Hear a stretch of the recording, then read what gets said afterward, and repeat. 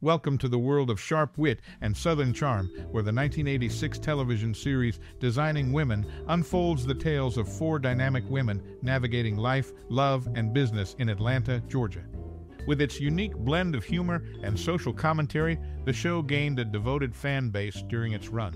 Reflecting on this classic sitcom, one might ask, out of the many roles in Designing Women, which one was your favorite? Each character, from the feisty Julia Sugarbaker to the eccentric Suzanne Sugarbaker, brought a distinct flavor to the screen, leaving viewers with a myriad of memorable moments. Now, think back. Do you have a cherished memory associated with designing women? Whether it's a hearty laugh at one of Mary Jo's dating misadventures or a poignant moment from a powerful Julia Sugarbaker monologue, this series has left an indelible mark on many. As we delve into the random facts about the show, did you know that the series was created by Linda Bloodworth Thomason, who drew inspiration from her own Southern upbringing? The authentic portrayal of Southern culture, combined with the strong female characters, contributed to the show's lasting impact. Before we continue, we're curious.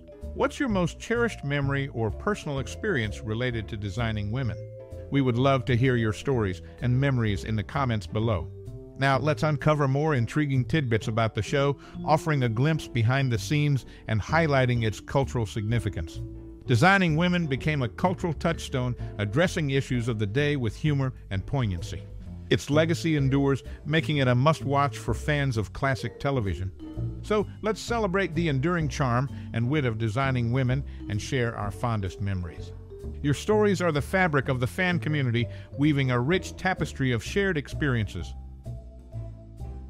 Designing Women, a classic television series from 1986, emerged as a groundbreaking comedy that effortlessly blended sharp wit with social commentary. Created by Linda Bloodworth Thomason, the show revolves around an Atlanta based interior design firm run by four distinct women, each with their unique personalities. Julia Sugarbaker, the outspoken and principled matriarch, leads the ensemble, complemented by her confident and glamorous sister Suzanne, the pragmatic Mary Jo, and the sweet-natured Charlene.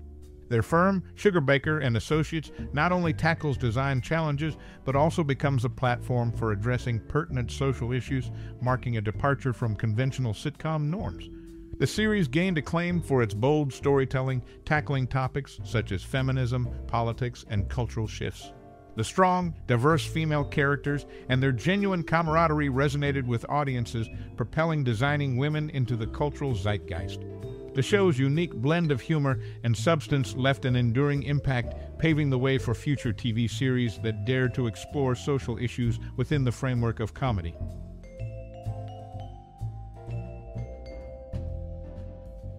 Charlene's roots in Poplar Bluff, Missouri, aren't just a casual mention in Designing Women.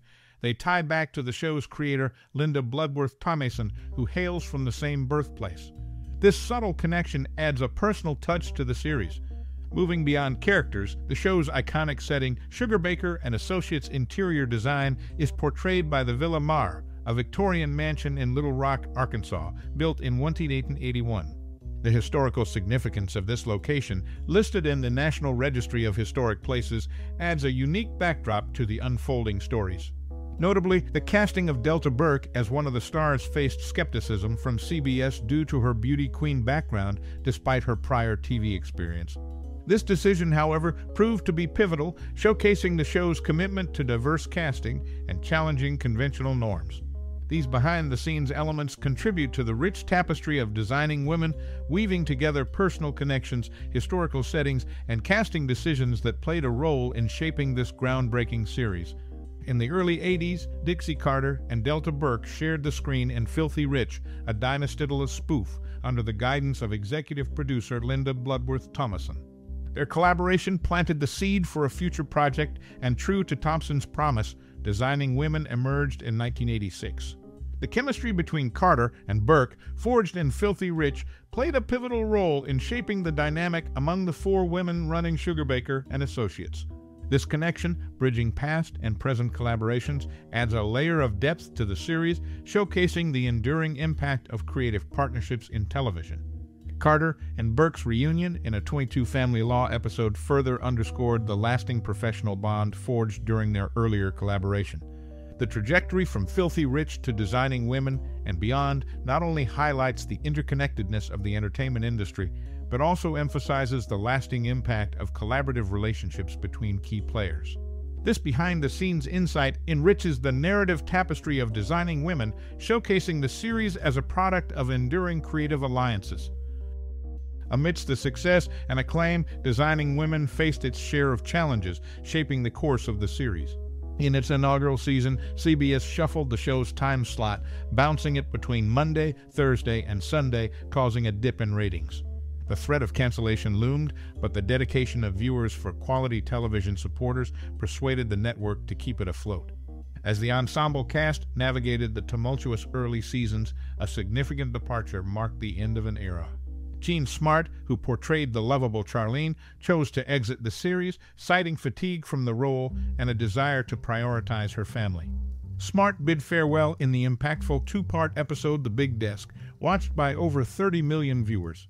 Amidst these shifts, the series also witnessed the participation of Jan Hooks and SNL alum. While her stint on Designing Women lasted two years, Hooks faced an unfortunate career trajectory post the show. Tina Fey lamented Hooks' unrealized potential, emphasizing the stark contrast between her talent and the opportunities she received. These behind the scenes developments underscore the complex journey of designing women, where scheduling woes, cast departures, and unrealized potentials played pivotal roles. In the realm of 80s television, the show's resilience against network decisions and the bittersweet departure of a beloved character contributed to its lasting legacy. In the realm of accolades for the 1986 TV series Designing Women, notable Emmy nominations went to Delta Burke, Meshach Taylor, and Alice Ghostley. The recognition, however, was confined to these three cast members, highlighting their standout performances in a show that deftly blended humor and social commentary. While the series faced challenges during its early years, including scheduling shifts and cast departures, the enduring impact of designing women resonates beyond its original run. Fast forward to recent times, and the prospect of a reboot emerges. In September, following a candid op ed by the show's creator, Linda Thomason, in The Hollywood Reporter, ABC expressed keen interest in reviving the series. The commitment to a new script signifies a potential resurgence, with key cast members such as Jean Smart and Annie Potts signaling their willingness to join the project.